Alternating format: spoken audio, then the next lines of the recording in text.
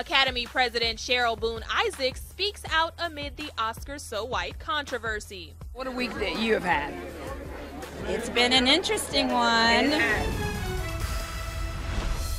Although the Academy announced major changes are underway to increase diversity, Cheryl tells ET this is only a starting point.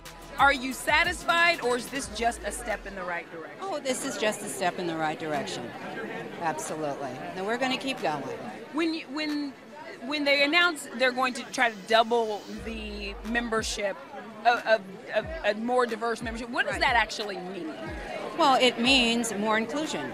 It means inviting in women, non whites, more diverse group of filmmakers, international, young, all that meet the criteria of the Academy. That, that does not change.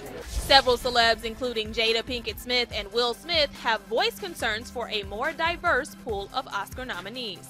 Have you spoken to Will and or Jada at all after after the comments that they made? I'm going to keep that secret. What about Spike? Keep all of that secret. As host Chris Rock plans to totally rewrite the script in response to recent backlash, the Academy says they are prepared to hear his new material. So, are you all ready to hear what Chris Rock has to say? Absolutely. That's why he was hired. Buckle up, everybody, right? Yep, it's going to be fun.